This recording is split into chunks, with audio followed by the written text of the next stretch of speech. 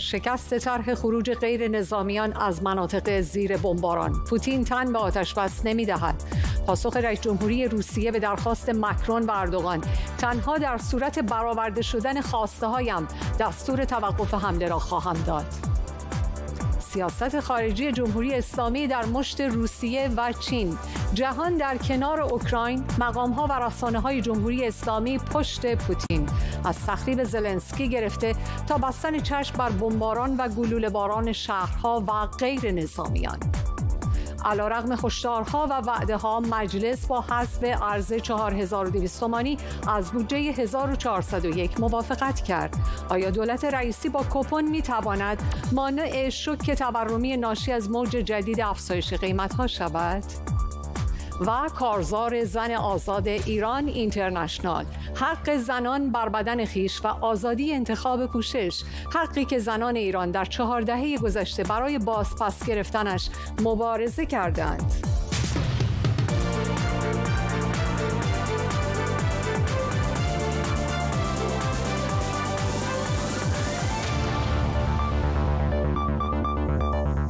شکست طرح خروج غیر نظامیان گریز مردم زیر گلوله باران نیروهای روسیه ادامه دارد. امروز امانوئل مکرون رئیس جمهوری فرانسه و رجب طیب اردوغان در تماس تلفنی با ولادیمیر پوتین خواهان آتشبس شدند. رئیس جمهوری ترکیه از او خواست دست کم کریدورهای بشردوستانه را باز کند. اما پوتین در پاسخ گفته تنها در صورت برآورده شدن خواسته هایش دستور توقف حمله را خواهد داد. همزمان تحرک دیپلماتیک ایالات متحده در کشورهای اطراف اوکراین بیشتر شده. قرار است روز دوشنبه دور سوم مذاکرات هیئت‌های روسیه و اوکراین برگزار شود. اوضاع به کدام سو می رود؟ آتش بس یا شعله شدن هرچه بیشتر درگیری ها گزارش محسن ایزدی. جنگ اوکراین وارد یازدهمین روز خود شد. ارتش روسیه شهر بوچاه در غرب کیف و دو شهر شمالی اووروخ و کروستن را هدف بمباران قرار داد و همزمان حمله به بندر ماریوپول را هم تشدید کرد. این جنگ تا همین لحظه ابعاد انسانی فاجعه باری در پی داشته. آژانس پناهندگان سازمان ملل شمار کشته شدگان تهاجم نظامی مسکو را بیش از هزار نفر برآورد و همچنین پیش بینی کرده که در هفته های آتی شمار آوارگان اوکراینی به سه میلیون نفر خواهد رسید. جنگ اوکراین از یک منظر دیگر نیز در نوع خود منحصر به فرد بوده. حجم گسترده واکنش های غرب به آن. واکنش های عمدتا اقتصادی و دیپلماتیک با هدف تقویت اوکراین و افزایش فشار بر روسیه. اما اکنون نشانه هایی از تمایل غرب به بکارگیری عنصر نظامی نیز در اقدامات و موضعگیری های اخیر دیده می شود. از یک سو بریتانیا برای مقابله با بحران اوکراین طرحی شش ای ارائه کرده که یکی از بندهایش تقویت و پشتیبانی مستقیم نظامی از اوکراین در برابر تهاجم روسی است. تهاجمی که به گفته بوریس جانسون نخست وزیر بریتانیا باید ناکام بماند. و از سوی دیگر کاخ سفید از تماس تلفنی زلنسکی و بایدن خبر داد تماسی از طریق یک دستگاه تلفن ماهواره امن که آمریکا پیش از شروع جنگ در اختیار دولت اوکراین قرار داده بود. شماری از اعضای کنگره آمریکا نیز در نشستی مجازی با رئیس جمهور اوکراین گفتگو کردند. با بسیاری از اعضای مجلس و سنا در یک تماس تلفنی با زلنسکی صحبت کردیم. رئیس جمهور و مردم اوکراین حاضرند برای آزادی خودشون تا سرحد مرگ مبارزه کنند. هواپیماهایی در دسترس کشورهای ناتو هن که اوکراینی ها می‌تونن به اونا پرواز کنن. به زودی این میگ ها به اونا تحویل داده میشه. ولودیمیر زلنسکی اشاره کرد که اوکراین نیروی جنگی موثرتری لازم داره. بیایید هواپیماها و پهپادهای مورد نیازشون رو در اختیارشون بذاریم. رئیس جمهور اوکراین تاکید کرده که بخش نفت و گاز روسیه باید تحریم بشه. هر چیزی که بتونه به اقتصاد روسیه آسیب بزنه به مردم اوکراین کمک می‌کنه و جنگ رو برای پوتین دشوارتر خواهد کرد. امتیاز استفاده از کارت های ویزا و مستر کارت رو برای مردم روسیه قطع کنید. زلنسکی به نمونه های متعددی از جنایات جنگی توسط نیروهای روسیه اشاره کرد. شهرداران شهرهای بزرگ اوکراین دستگیر و زندانی و به قتل رسیدن. حملات زیادی به غیر نظامی داره میشه. ماشین جنگی پوتین در حالت جنایت جنگی معرفی پوتین به عنوان جنایتکار جنگی کار درستیه و کمک زیادی برای عبور از این بحران می‌تونه بکنه خطاب به مردم روسیه میگم برخیزید و جلوی این دیوانگی رو بگیرید به فاصله کوتاهی پس از این گفتگو مسترکارد و ویزا اعلام کردند فعالیت‌های خود را در روسیه به حالت تعلیق در میآورند.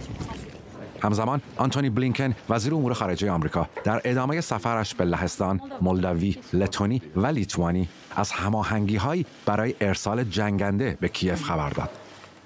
Um, um, ما فعالانه در حال بررسی این گزینه هستیم که شاید لهستان هواپیما به اوکراین بدهد و ما هم در مقابل لهستان را در صورتی که چنین تصمیم بگیرد تامین تسلیحاتی کنیم. درباره زمانش نمی‌توانم صحبت کنم. اما صرفا می‌توانم بگویم که فعالانه این موضوع را مد نظر داریم.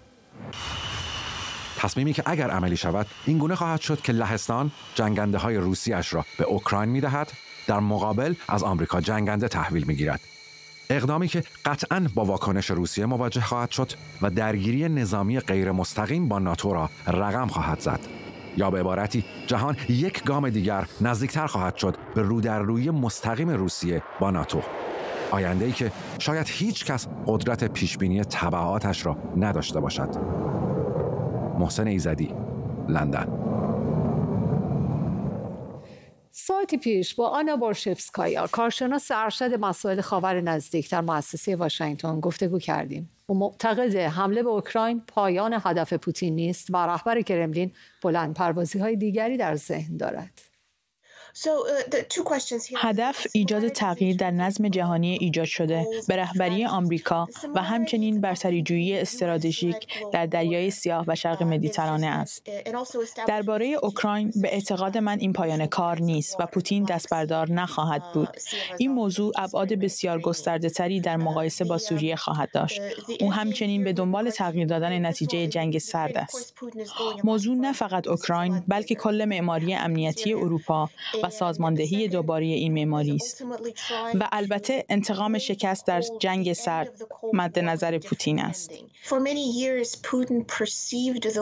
پوتین برای سالها غرب را ضعیف و ریسک گریز میپنداشته و هرگاه دست به تهدید عملیات نظامی زده غرب دیپلماسی را در دستور کار قرار داده است.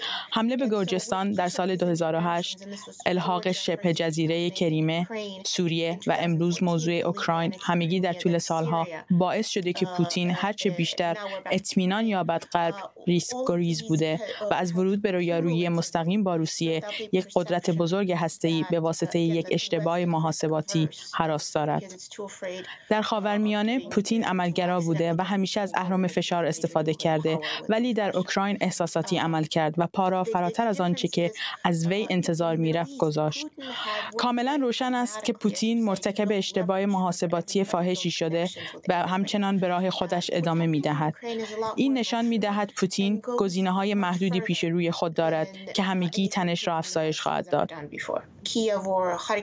بر اساس اخبار شاهد بمباران غیر نظامی ها و مناطق مسکونی هستیم و بعید نیست که کیف و خارکیف به حلب تبدیل شوند. آرش آرامش حقوقدان و کارشناس امنیت ملی همراه هستند در استودیو آقای آرامش بارها آمریکا و ناتو گفته بودند که به هیچ وجه قصد مداخله نظامی نداره تحرکات اخیر رو که رصد می‌کنیم در کشورهای اطراف اوکراین این رو شما چطور تعبیر می‌کنید قصد مداخله نظامی به صورت فرستادن خلبان و ملوان و سرباز و نیروی نظامی مستقیم ندارن. در صورتی که تمام تجهیزاتی که الان ارتش اوکراین و تمام بخش زیادی که تجهیزات که ارتش اوکراین در الان باش میجنگه و دست مردم اوکراین هست از تسلیحات ضد زره تسلیحات ضد هوایی مثل موشک های استنگر ساخت سوئیس، موشک های جولن ساخت راکت های جولن ساخت ایالات متحده و تسلیحات دیگه ای که بریتانیا ایالات متحده بعد کشورهای مثل هلند آمدن در این چند هفته اخیر به صورت مجانی رایگان در اختیار ارتش اوکراین قرار دادن. اگر این همکاری و کمک نظامی نیست من نمی‌دونم چه هست. نه آقای بایدن گفته و همینطور آقای جانسن و بقیه رهبران ناتو گفتن که سرباز به صورت مستقیم به خاک اوکراین نمیفرستن. هدفشون نگه داشتن جنگ یعنی عملا گسترده تر نشدن جنگ هست خارج از اوکراین ولی این که تجهیزات نظامی و از اون مهمتر اطلاعاتی. ببینید قبل از اینکه اتفاق بیفته جنگ اوکراین و ارتش روسیه اشغال بکنه اوکراین رو هواپیمای 707 اطلاعاتی ارتش ایالات متحده داشت. دور کیف به صورت یک هشت لاتینی دور می‌زد. یعنی چی؟ یعنی شما میاد بله مدار می‌زنین به خاطر اینکه ببینید که آیا چه تجهیزاتی چه تسلیحاتی روسا دارن میارن. دوم زد اینها هواپیمای ضد رادار رو آورده بودن که از لحاظی تجهیزات و اطلاعات عملیاتی که روسا لحظه آخر می‌خواستن کسب و جذب بکنن اون رو هم خونسا بکنن. و الان هم بسیاری از این نقشه های ماهواره‌ای و نه فقط اطلاعات دیجیتالی و اطلاعات تکنولوژی و فناوری بلکه اطلاعاتی که از منابع انسانی دستیابی پیدا می‌کنن. بخشش رو با اون چیزی که مهم هست رو با نیروهای اوکراینی در میان می‌گذارن. نیروهای اوکراینی هم صرفا در شب و در تیر در تاریکی نمیاندازن. بالاخره با تسلیحاتی که دارن هرچند محدود و گهگاهی هم بسیار مجهز اینها دارن جاهایی رو می‌زنن که خب اون زخم و اون فشار دو چندان رو به ارتش روسیه بگذاره. نمونهش هم اونجاست. الان این کاروان چند مایلی چند کیلومتری ارتش روسیه در شمال کیف حمله مستقیم به اون نشده. از لحاظ نظامی کامیون های تدارکات الان ارزش نظامی آنچنانی ندارن. ارزش نظامی تانک ها زره و هلیکوپترهایی است که حوالی کیف هستند حوالی خرسون هستند در, در جنوب اوکراین و حوالی مناطق در حال رزم هستند نه چند به قول معروف مایل truck یا کامیون تدارکاتی. بعد از اون اگه خواستن ها میشه زد. ولی الان اون اطلاعات عملیاتی که از طریق نیروهای غربی به دست نیروهای اوکراینی می‌رسه باعث شده که دقیقتر و به قول معروف مهمتر و دقیقتر بتونن عملیات انجام بدن و تجهیزات روس رو و همچنین نفرات روس رو از صحنه خارج کنن. برخی کارشناسان معتقدند در واقع اوکراین هدف قایی پوتین نیست. در صورت که برای مثال همطور که پیشتر هم تهدید کرده بود بخواد به فنلاند یا سوئد هم دست رازی بکنه اون وقت فکر می‌کنی واکنش آمریکا یا ناتو چه خواهد؟ هرچند که فنلاند و سوئد عضو رسمی ناتو نیستن ولی همپیمان ناتو هستن. این یکم. دوم سوئد و فنلاند کشورهایی هستند که حتی اگر اوکراین رو هم به غرب حساب نکنیم که نیست عملا ولی فنلاند و سوئد کشورهای غربی هستند و تبع حساسیتش برای ایالات متحده هم از لحاظ نظامی سیاسی اقتصادی فرق می‌کنه. آقای بایدن با رئیس جمهور فنلاند اخیرا صحبت داشت. به خاطر اینکه می‌بینید که این حساسیت رو دوباره روی صحنه بیاره. نکته آخر. شما نگاه می‌کنید فقط مسئله نیست که آقای پوتین چه می‌خواد. مسئله که چه می‌تواند بکند. 11 روز جنگ بوده و اهداف نظامی بزرگ خودش نرسیده. اگر بیاین جبهه رو به سه قسمت ما تقسیم بکنیم جبهه شمال از بلاروس و از شمال شرق که دارد میاد به سمت کیف جبهه شرق که از مناطق غربی روسیه است که میشه منطقه شرق لوهانس و دونتسک و دونباس که عملا خارکیف و ماریوپول رو می‌خواد تصرف بکنه و پل زمینی بزند بیاد به جنوب که منطقه شمال کریم است و جبهه جنوب کریمه. تو این سه جبهه ارتش روسیه در جبهه جنوب موفق تر بوده. ببینید فقط تجهیزات داشتن مهم نیست. در یک جنگ شما نفراتتون تدارکاتتون تعلیماتتون و نحوه استفاده از اون تعلیمات بسیار مهمه. در یک جنگی این چونین پیچیده در سه محور مختلف. شما تدارکات و هماهنگی زمینی هوایی دریایی می‌خواید. دیدیم ارتش روسیه با وجود اینکه ارتشیش بسیار ارتشی است بسیار مجهز این هماهنگی رو نداشت. ایالات متحده و بریتانیا سالها اگر صدها میلیون دلار نه شاید میلیاردها دلار خرج این می‌کنن که این هماهنگی ها در مانورهای مختلف باشد جنگ در سه محور جنگ بسیار سخت است. چرا جبهه جنوب میگم موفق تر بود؟ چون میافتد در واحد منطقه استفاضی فرماندهی جنوب ارتش روسیه. از 2014 2015 که کریمه رو گرفتن این واحدها اونجا بودن با هم تمرین کردن با هم هماهنگترن. به خاطر همین اون جبهه جنوب الان خرسان رو گرفته داره به سمت غرب به سمت اودسا میره اون هماهنگی بیشتر رو دیدیم. برعکس این جبهه شمالی که فعلا در گل ماندن در شمال کیف. ممنون از توضیحات کاملتون. در گزارش و گفتگو به تحرکات آمریکا و دیگر کشورهای عضو ناتو در منطقه اشاره کردیم. توضیحات دقیق چیدمان ترکیب نیروها و آرایش اونها رو بردیا برامون میگه ممنون از تو سیما. برای سه دهه یکی از نگرانی های امنیتی عمده روسیه گسترش ناتو به مرزهای شرقی بود چیزی که ولادیمیر پوتین هیچ وقت اون رو پنهان نکرده. و برخی هم میگن یکی از دلایل اصلی حمله روسیه به اوکراین این بوده. سازمان پیمان آتلانتیک شمالی بهار 72 سال پیش با اتکاب به این اصل شکل گرفته. اصل شماره 5 همه برای یکی یکی برای همه به هدف حمایت نظامی از کشورهای بلوک سرمایه داری یعنی اگه حمله به یکی از اونها بشه همه در دفاع از اون کشور به میدان میرن. سازمانی که اون زمان در تقابل با بلوک شرق کشورهای کمونیستی به سرکردگی اتحاد جماهیر شوروی شکل گرفته بود. دهه ها بعد بعد از فروپاشی اتحاد جماهیر شوروی و پایان یافتن جنگ سرد شاهد این بودیم که بسیاری از کشورهای بلوک شرق به این پیمان پیوستند. جوری که از پیش از فروپاشی اتحاد جماهیر شوروی به این بر تعداد کشورهای عضو از 16 تا به 30 تا رسیده. و اولین های بلوک شرق مجارستان، لهستان و جمهوری چک بودند که اواخر دهه 90 به ناتو پیوستند و جدیدترین عضو هم مقدونیه شمالیه که بخشی از یوگسلاوی سابقه مقدونیه شمالی دو سال پیش به عضویت ناتو درآمد و نام سه کشور در سالهای اخیر به عنوان نامزد برای عضو شدن در ناتو همواره مطرح بوده. بوسنی گرجستان و اوکراین که این دو آخری از جماهیر سابق اتحاد شوروی و درگیری های نظامی هم در این سالها با روسیه داشتند. با گسترش ناتو به شرق این پیمان می‌تونست نیروهاش رو نزدیکتر و نزدیکتر به مسکو مستقر کنه. این برای کرملین یک خطر بالقوه به حساب میاد. تا پیش از حمله نظامی روسیه به اوکراین مجموع نیروهای مستقر ناتو در رومانی، لهستان و کشورهای حوزه بالتیک در حدود 100 هزار نفر بود و در مجموع تجهیزاتی چون توپ و تانک ناتو در جبهه شرقیش به نظر از روسیه از نظر تعداد بسیار بیشتر می‌رسید. می‌دونیم که طی ماهای گذشته روسیه نیروهای مهاجم خودش رو در اوکراین رفته رفته مستقر کرد هم در خاک روسیه هم در کریمه هم در بلاروس و تخمین زده میشه پیش از آغاز حمله تعداد نیروها 190 هزار تا بود. این تقریبا چهار برابر نیروهای آمریکایی مستقر در نزدیکی اوکراین در کشورهای لهستان رومانی بلغارستان و آلمان. اما می‌دونیم که با آغاز تهاجم روسیه ناتو گفته تعداد نیروهاش رو در مرزهای شرقی افزایش داده و نیروهای واکنش سری رو هم به اون مرزها روانه کرده. با این حال و تاکید کرد اعضای ناتو همگی بارها گفتند با اینکه از اوکراین در مقابل روسیه حمایت می‌کنند اما نمی‌خوان مستقیم وارد درگیری با روسیه بشن و به تنشها اضافه کنند تحرکات اخیر ما حرکتی تهاجمی نیست بلکه اقدامی تدافعی است. همپیمانان ما در ناتو روسیه را تهدید نمی کنند. اروپا روسیه را تهدید نمی کند. هیچ کس روسیه را تهدید نمی کند. همه ما باید به روسیه ثابت کنیم که اتحاد ما برای دفاع از همپیمانانمان خدش ناپذیر است. البته درگیری مستقیم با ناتو هم برای خود روسیه یک مسئله نگران کننده می‌تونه باشه. درسته که روسیه دومین قدرت نظامی جهان محسوب میشه اما در کل در مقابل توان نظامی سازمان ناتو, قدرتش به مراتب بسیار کمتره. این جدول که می‌بینید مقایسه است از امکانات و تجهیزات نیروهای مسلح روسیه و ناتو. روشنه که ناتو بسیار مجهزتر از روسیه است. و در کل باید این رو تاکید کرد که بودجه نظامی ناتو در حدود دوازده برابر بودجه نظامی کل روسیه است. و حالا به این یکی جدول نگاه کنید. این بودجه نظامی سه کشور حوزه بالتیک عضو ناتوه.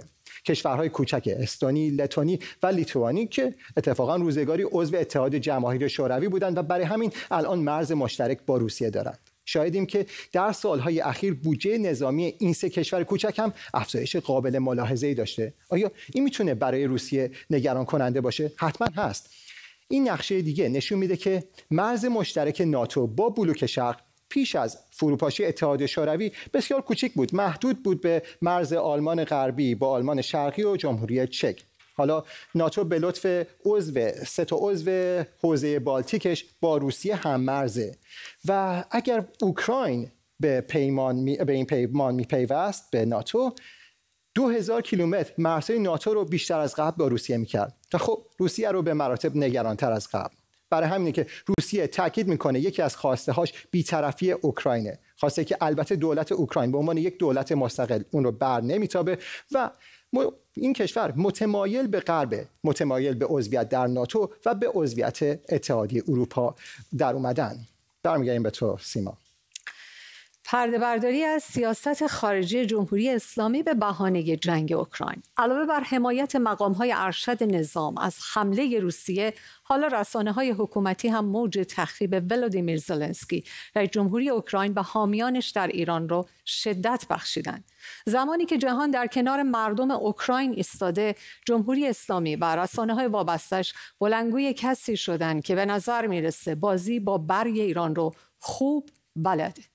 از سوی دیگر پس از مسکو پکن هم درباره توافق احیاء ورجام از واشنگتن تضمین خواسته تا منافعش حفظ بشه نمونه ای از سایه بلند روسیه و چین بر تصمیم های سیاست خارجی تهران در فاصله کوتاهی از قراردادهای بلند مدت جمهوری اسلامی با این دو کشور مشتبه پور محسن گزارش میده.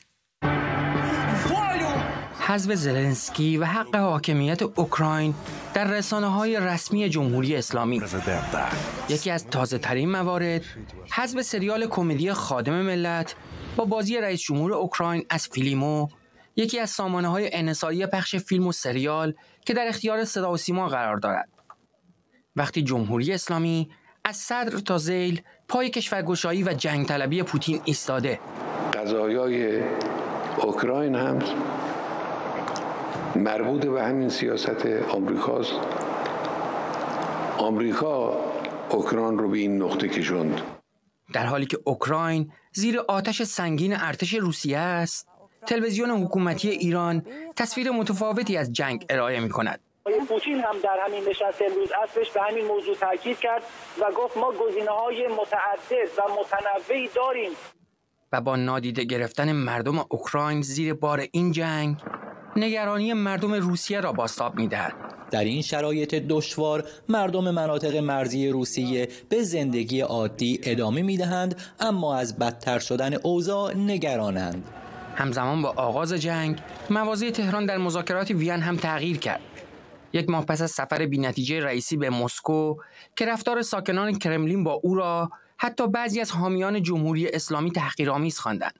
رفتارهایی که باعث شد برخی تحلیلگران در داخل ایران به این نتیجه برسند که روسیه جمهوری اسلامی و مذاکرات برجام را در قبال جنگ اوکراین به غرب فروخته.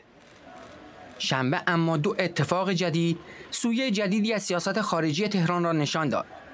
وقتی در آستانه احیای توافق برجام روسیه از آمریکا سهم خودش را خواست و برجام را گروگان گرفت. باز هم بر سر جنگ اوکراین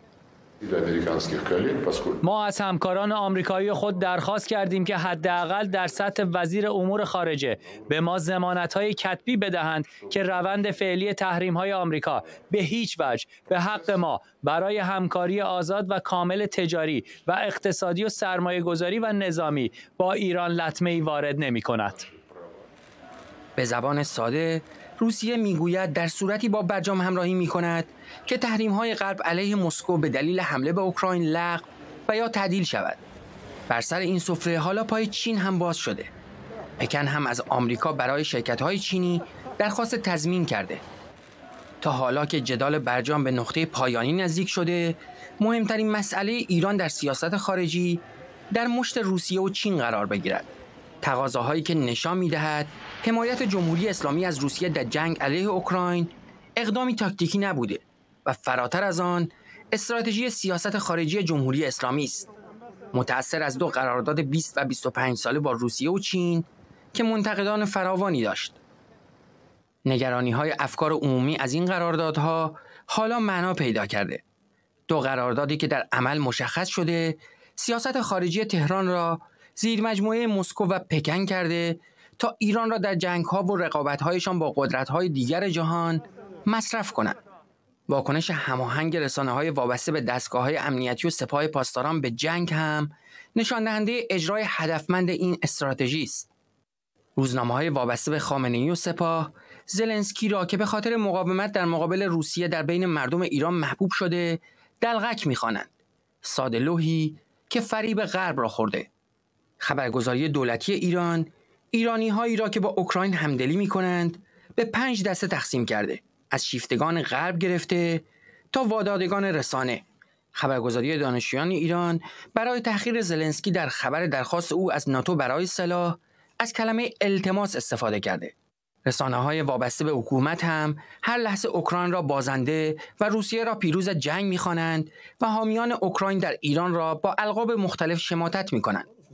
رسانه هایی که در روسیه شویی رسانه های دولتی روس را هم روسفید کردند. جمهوری اسلامی در کشورهای منطقه که در آنها نفوذ دارد هم به پیاده نظام پوتین تبدیل شده. رسانه های عراقی از قول منابع مطلع گفتند که ایران بر دولت عراق فشار آورده که در مقابل حمله روسیه به اوکراین سکوت کند. تلاش شبه نظامیان مورد حمایت جمهوری اسلامی در عراق هم برای نصب پوستر پوتین در خیابانهای بغداد اگرچه ساعاتی بیشتر دوام نیاورد اما نشان دهنده برگ دیگری از خدمتگذاری جمهوری اسلامی برای رئیس جمهور روسیه است. یازده روز پس از آغاز حمله روسیه به اوکراین جمهوری اسلامی در خارج از مرزها هم طرف بازنده ایستاده. حکومتی که آشکارا نشان داد نگرانی ها درباره قراردادهای بلند مدت با مسکو و پکن بیمورد نبوده و حالا این قراردادها ایران را دست کم در سیاست خارجی در چنگ روسیه و چین قرار داده. مشتبه پور محسن لندن. برخلاف موضع های جمهوری اسلامی ایرانیان داخل و خارج کشور از آغاز تهاجم روسیه نظر و نگاه خود را در حمایت از مردم اوکراین به هر شکل ممکن نشون دادند. از تجمع مقابل سفارت ها گرفته تا انتشار پست های مختلف در رسانه های اجتماعی و صدور بیانیه. هنرمندان هم به این موج حمایت از مردم اوکراین پیوستند. ویژن مرتضوی نوازنده و آهنگساز از استکهلم با ما هستند. خیلی خوش اومدید به برنامه امروز جناب مرتضوی. شما آهنگی ساختین درباره جنگ اوکراین. درباره آهنگتون مضمون اون و حالا جزئیاتی که فکر می‌کنین باید در موردش توضیح بدین برامون میفرمایید. بسیار سپاسگزارم از اینکه من در دعوت کردید. خیلی خوشحالم در خدمتتون هستم. این آهنگ رو من چند وقت پیش ساختم بیشتر هم به خاطر پناهجویان یا مواردی رو که باعث میشه یک نفر از سرزمین خودش کوچ بکنه و پناهنده بشه به یه جایی. و خب الان تقارن پیدا کرد با این مسئله روز که جنگ بین روسیه و اوکراین هستش. سوالی اگه دارید بفهمید تا من جواب بدم اگر نه من ادامه بدم.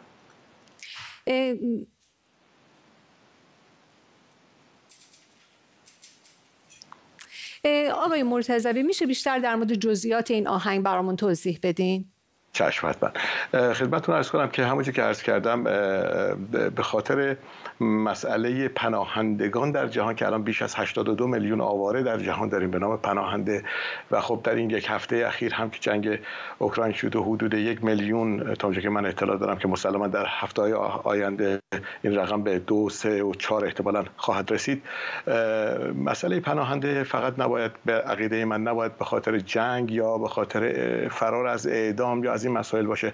به هر صورت فقر و فشار هم باعث میشه که یک شهروندی خاک و مملکتش رو ترک بکنه خاک به سرزمینش رو خانه پدریش رو ترک بکنه و علال خصوص در چند وقت گذشته بسیار شاهد این قضیه بودیم اون جسد کودک کرد که سه سال پیش در سواحل ترکیه پیدا شد. من رو خیلی بسیار منقلب کرد و باعث شد که من این آهنگ رو بسازم و به صلاح تقدیم بکنم به جامعه تا بیشتر روشن بشن بیشتر مطلع بشن به حال ما زبان مردم می‌تونیم باشیم. هنرمندها احتمالا فکر می‌کنم انشالله صداشون می‌تونه گویاتر از بقیه مردم باشه که در خفا دارن زندگی می‌کنن. برصورت این هم یک وظیفه هنری است و یک مسئولیتی است که روی دوش من هست و مضمون این ویدیو هم همین هستش که چرا پناهنده و وضعیت پناهنده ها به این وضعیت اسفناکی که خودشون رو به آب آتش می‌زنن و می‌بینید که چقدر هم در یک خانواده کشته میدن در یک اجتماع کشته میدن در یک کوچه دست جمعی که به حال از همه کشورها شامل اینها هستن کشته هایی میدن که اصلا انسانی نیست و فکر می‌کنم که من پیامم این هستش که انسان تا زمانی که در خودش به صلح نرسه نمی‌تونه آغوشش رو برای یک انسان دیگه باز بکنه و ما به اصطلاح انسان ها باید بیشتر به این مسئله توجه بکنیم که آغوشمون رو برای دیگران باز بکنیم برای اینکه سیستم جهانی که سیستم جالبی هم نیست اصلا نظری نداره به این مسئله. سپاس از شما. اگه اجازه بدیم بخشی از آهنگ لالایی ساختتون رو با هم ببینیم و بشنویم.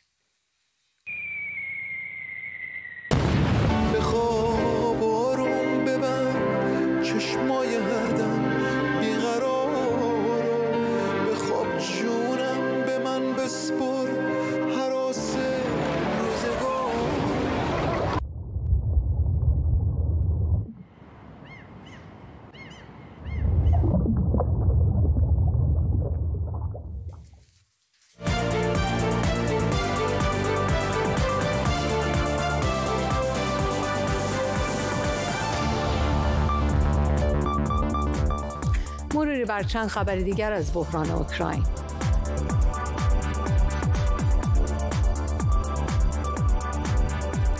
تصاویری که ممکنه برای برخی ناراحت کننده باشه. صحنه دستگیری کسانی که در مخالفت با حمله نظامی علیه اوکراین در دهها شهر روسیه به خیابون ها اومدن این تظاهرات با برخورد خشونت آمیز پلیس مواجه و هزاران نفر بازداشت شدند.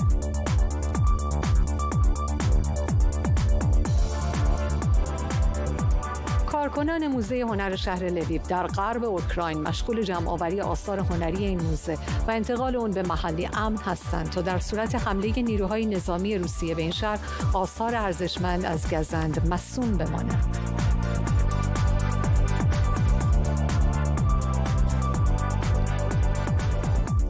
وزیر دفاع فرانسه برای دیدار با نظامیان این کشور که در قالب نیروهای ناتو در پایگاهی نظامی در رومانی هستند به این کشور سفر کرده. فلورانس پارلی در سخنرانی برای سربازان فرانسوی گفت جابجایی نیروهای ناتو پس از حمله روسیه حرکتی دفاعی است نه تهاجمی.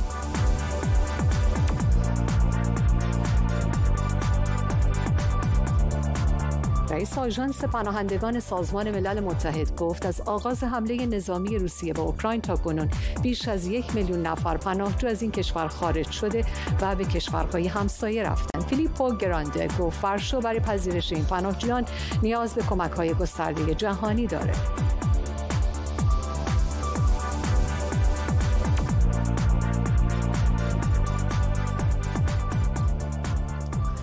مجلس یازدهم امروز با حذف ارز 4200 تومانی از بودجه سال آینده موافقت کرد.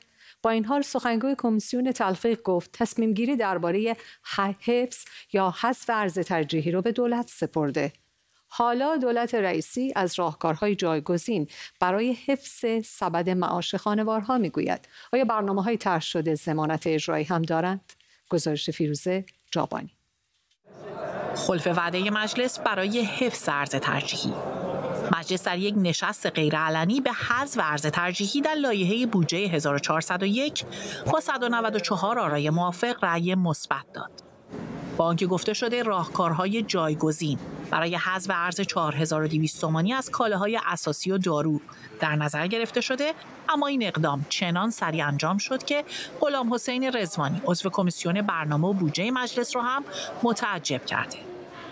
در یک دقیقه ارز 4200 تومانی حذف شد. دولت مکلف به اختصاص مبلغ 9 میلیارد دلار برای ارز ترجیحیه اما این مصوبه امانتداری نشد. مصوبه مورد اشاره به کمتر از یک ماه پیش 25 بهمن ماه باز می‌گردد. وقتی حمید رضا حاجی بابایی رئیس کمیسیون تلفیق چنین وعده‌ای برای حفظ ارز ترجیحی داده بود. کمیسیون تلفیق در کنار مردم قرار گرفت و 9 میلیارد دلار ارز ترجیحی را برای سال 1401 مصوب کرد. حالا اما با حذف ارز ترجیحی آن هم در دو قدمی نوروز سبد معیشت خانواده ها شوک افزایش قیمت دیگری رو هم تجربه خواهد کرد. اگرچه که سخنگوی کمیسیون تلفیق رحیم زاره مدعی ارز ترجیحی از بودجه حذف نشده و تنها این اختیار به دولت داده شده تا ارز را حفظ یا حذف کند.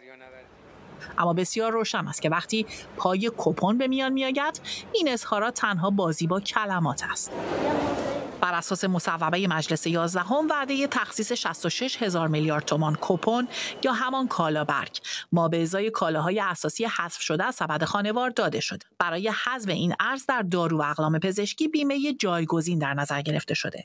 102 هزار میلیارد تومان هم برای خرید گندم و سایر داروها لحاظ شده. با این تضمین که افراد بتوانند این کالاها و خدمات را سال آتی به نرخ پایان شهریور 1400 و در سقف سهمیه تهیه کنند. قرار است به دهک های هم یارانه تعلق بگیرد که هنوز نرخش معلوم نیست. اما نرخ ارز سال آتی مشخصه و آن هم کمتر از 25 هزار تومان نخواهد بود. در واقع دولت حمایت های دلاری را از بودجه سال آینده برداشته و به جای آن بسته های ریالی جایگزین کرده. بسته هایی که فعلا طرحی بر روی کاغذ هستند و در صورت محقق شدن هم زمانت اجرایی ندارند.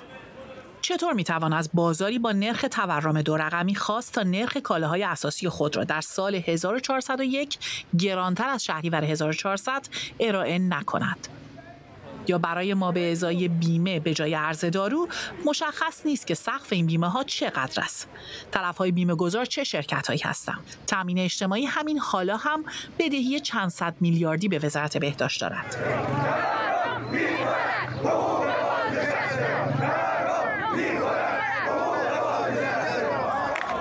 روش های قهری و فرمالیته برای حل بحران مهم اقتصاد به یک روی کرد در دولت سیزدهم بدل شده.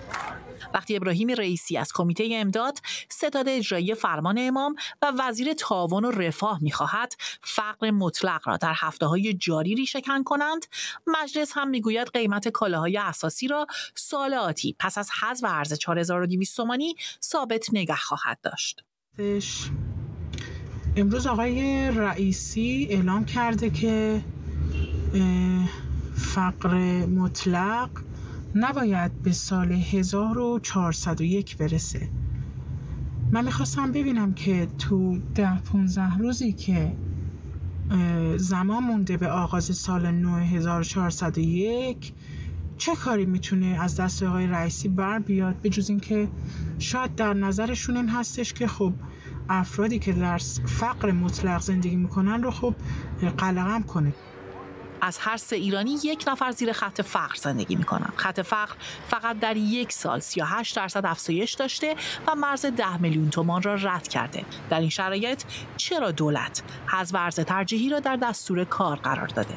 با نگاهی به تصمیم نشست فرماندهان سپاه پاسداران در اسنادی که گروه سایبری عدالت علی 13 بهمن ماه رسانه ای کرد پاسخ این پرسش روشن می شود عزم حکومت با وجود اذعان به تشدید بحران معاش این است که بدون سر و صدا ارز ترجیحی را حذف کند. چرا که همزمان حضور نهادهای امنیتی و نظامی را در عرصه های اقتصادی پررنگ کرده است. فیروزه جابانی لندن.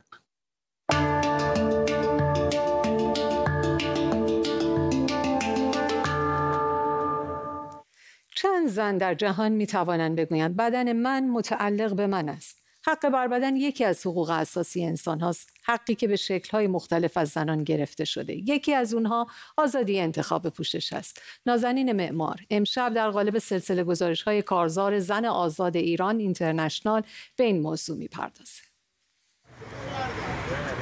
بدن من متعلق به من است. چند زن در جهان می توانند بگویند این جمله در موردشان صدق می کند. گزارش سال گذشته سازمان ملل متحد نشان می دهد میلیون ها زن در جهان از حق مالکیت بر بدن خود محرومند. بدن زنان همواره از سوی حکومت ها، عرف جامعه و اعضای خانوادشان کنترل شده. اما حق بر بدن یعنی چه؟ حق گفتن نه به رابطه جنسی و رابطه جنسی به خواست و میل فرد. حق انتخاب همسر، حق انتخاب داشتن یا نداشتن فرزند و زمان آن، حق دسترسی به ابزار جلوگیری از بارداری و حق انتخاب پوشش. در نتیجه هجاب اجباری، ازدواج و رابطه جنسی اجباری، کودک همسری و ناقصسازی اندام جنسی دختران تنها چند نمونه از مصداقهای نقض حق بر بدن است. در ایران حق انتخاب نوع پوشش از دیرباز از زنان گرفته شده. در زمان رضاشاه اجبار به نداشتن هجاب و کمتر از 50 سال بعد در جمهوری اسلامی اجبار به داشتن هجاب. روح الله خمینی از تأسیس وزارتخانه امر به معروف و نهی از منکر می گفت. ما مبارزه با فساد را با دایره امر به معروف و نهی از منکر که یک وزارتخانه مستقل بدون پیوستگی به دولت با یک همچه وزارتخانه ای که تأسیس خواهد شد انشاءالله او در 16 اسفند 57 ورود زنان بیهجاب را به اداره های دولتی ممنوع کرد. فرمانی که به تظاهرات شش روزه زنان منجر شد.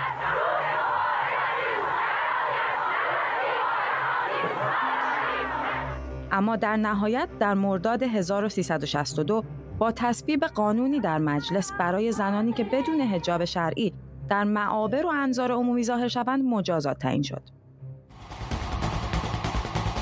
از ابتدای سر کار آمدن جمهوری اسلامی تا به امروز سیاست های متعددی برای برقراری حجاب اجباری اجرا شده.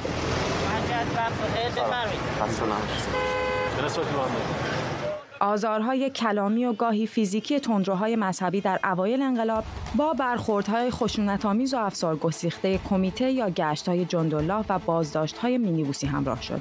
خشونت هایی که بعدتر بعضی از مقام های جمهوری اسلامی و همچنین نزدیکان به حکومت به آنها اذعان کردند. همین کسایی بودن که سر چهارراه ولی از پونس می‌کردن تو کله زنه مردم اولا بودن. تو چهار مود بیرونه. بعد از آن گشت های ارشاد ادامه راه بازداشت زنان شدند. اسید پاشی های اسفان در سال 93 صورت را از تعدادی از زنان و آرامش و امنیت را از تمام جامعه گرفت. و طرح گزارش پلاک خودروها در صورت مشاهده کشف هجاب طرحی شد برای گزارش مردم علیه مردم.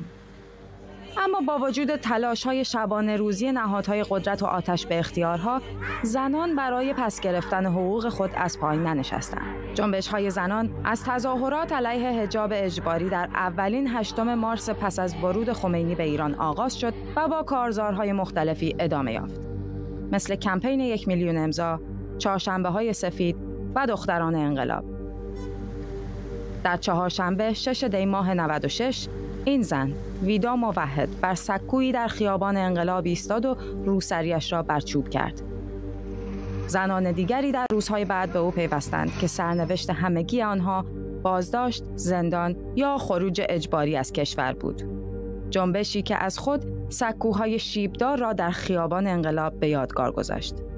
اما در میان تمام اینها شاید بارسترین نشانه مبارزه زنان علیه حجاب اجباری به رغم فشارهای مداوم، تبعیضها و تهدیدها این باشد که زنان ایران پس از 43 سال همچنان به پوشش دلخواه حکومت تن ندادند. نازنین معمار، لندن. در پایان پیانیستی که از آلمان با ساز خود روی چهار چرخش اومده تا برای پناهجویان اوکراینی به نوازه آهنگ تصور کن جان لنون رو. ترانه برای انسانیت و البدیت فراتر از هر رنگ و نژاد و زبان و قوم و هر اعتقادی.